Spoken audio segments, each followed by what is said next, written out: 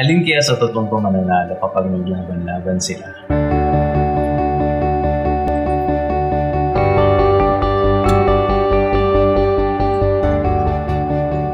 Is it this one?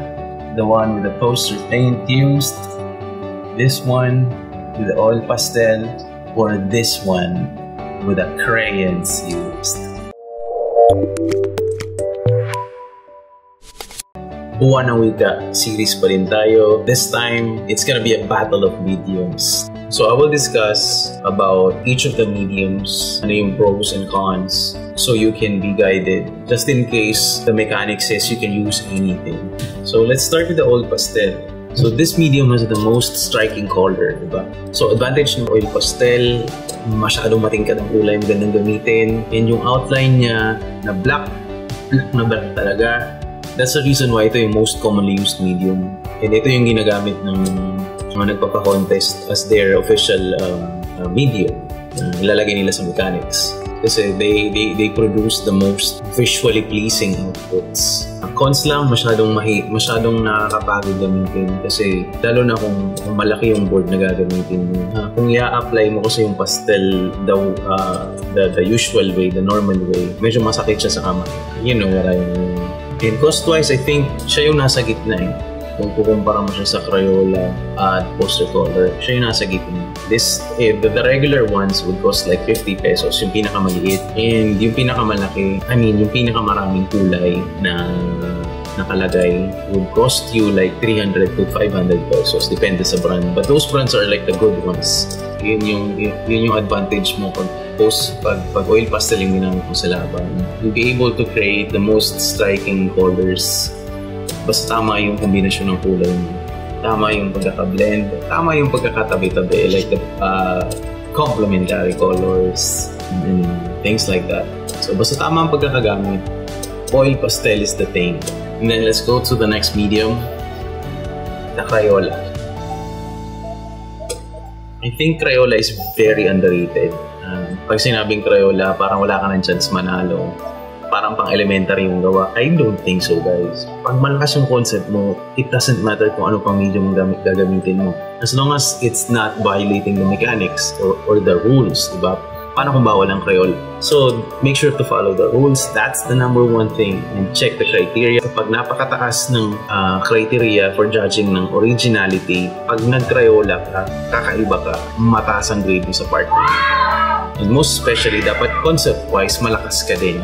Hindi lang art-wise. So as you can see, as you would normally expect uh, from Crayola, medyo texturized siya. But kahit medyo texturized siya, basta nasa na maganda yung pinili mong kombinasyon ng kulay, eh, gaganda at gaganda pa din naman siya. And one critical note here is the use of pentel pen. Importante gamitin yung pentel pen kapag Yung gamit mo dahil mahirap i-define yung outline ng objects mo gamit ang black ng Crayola. It's, it's very useful when it comes to Crayola work. I don't think nagpapartida ka. As long as you know how to use it, you're doing the right thing. Napakamura ng Crayola. So, isa yun sa mga pro, madaling gamitin, medyo nakakapagod sa kamay. Uh, ang cons nga lang, hindi siya ganun ka-visually appealing like pastel or the poster colors. But, hindi lang naman looks ang tinitingnan sa poster. It has to come with a strong concept. So kahit Crayola gagamitin mo, pwede ka pa rin manalo. So ito yung take ko sa buwan ng wika with the Crayola video. We have pros and cons using Crayola, man.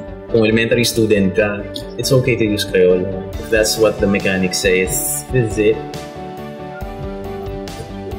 And lastly, the poster colors. This is commonly known as the watercolor. Yun yung ginamit natin dito. I did not use the branded ones, just the cheap and normal ones for demonstration purposes. Pro ng, ng ang poster color, it's very dynamic. Ang dami mong pwedeng gawin. Pwede ka mag-landscape, um, magandang i-blend, malinis at pulido ang, ang, ang texture niya, seascape painting as an additional uh, feature sa gawa mo.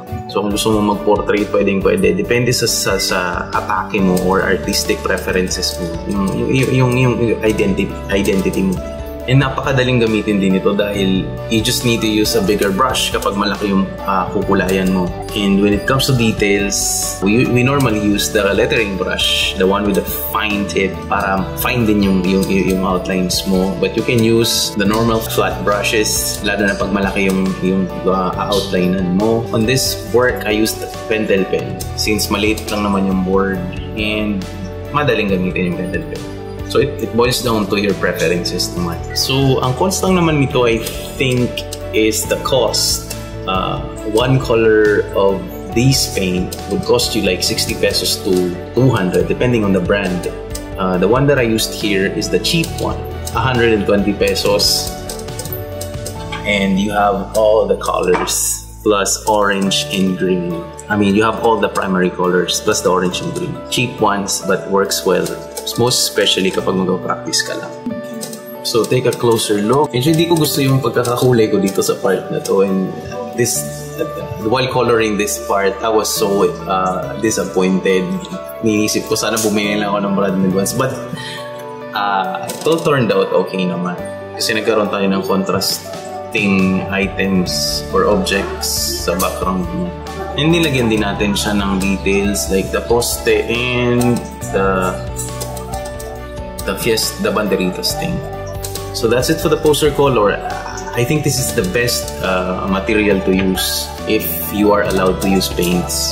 Makakadetalye ka unlike ng, sa pastel kasi ang pastel, the tip of the pastel is very limited. Pero dito marami kang choices of brush, mas marami kang choices of colors. So that's it guys. Sa tingin nyo, sino sa tatlong to ang mananalo?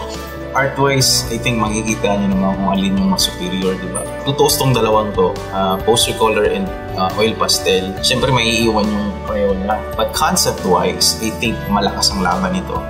So, it all boils down to your preference. But make sure you follow the, the contest mechanics. Kung pastel lang dapat gamitin, dapat oil pastel lang. Kung Crayola, Crayola. Kung poster color, poster color. So, you have to follow the rules. And at the end of the day, it all boils down to the judges' preferences and your artistic style. And always make sure na mag-ensayo at magsanay tayo. Kasi kahit si San Goku nga nag-ensayo para labanan si Frieza, tayo pa kaya So to ensure na mas mataas ang chance mo manalo, you have to practice. You have to do this like 2 to 3 times before the actual game. So kahit Crayola lang yung laban make sure na malakas pa rin yung concept or content. So, yun lang, kahit ano, kahit alin po sa tatlo, pwede natin gamitin. As long as it's in the rules, you are free, man. Kung may laban ka, okay, buwan ng wika, good luck guys. Kunin mo yung panalo. Kasi pagdating ng araw, kwento na lang yan. And mas maganda kung yung kwentong gagawin mo, eh nanalo ka. So paano manalo? Watch the previous videos. Baka may matutunan kang uh, technique. Just watch the time-lapse video. In concept-wise, you can take inspiration from any of these three. Just make sure that you don't copy it as a whole because that's gonna be like a downside on your originality criteria. Dahil hindi lang hindi lang naman ikaw nakakapanood ng video ko. This is public Um, it's on the public domain. Every, everyone can see it. So pag nakita nila sinopya mo lang yung gawa mo, parang mataturn off. You can take inspiration but never copy it as is. Kasi naniniwala naman, naniniwala ako na mas magaling ka sa inaakala mo. Akala mong ito maganda. I don't think so. You can still create better than this. Just believe in you, man. Believe. So that's it for today's video. The matchups between Crayola, poster color, and oil pastel. These are the three ones that are commonly used on poster makings. Watch out for the next video. I, don't know what's gonna be next. That's it for the Buona Wika series. You got three inspiration, uh, three works for me to take as your inspiration. I hope you win, guys. See you on the next video. Peace.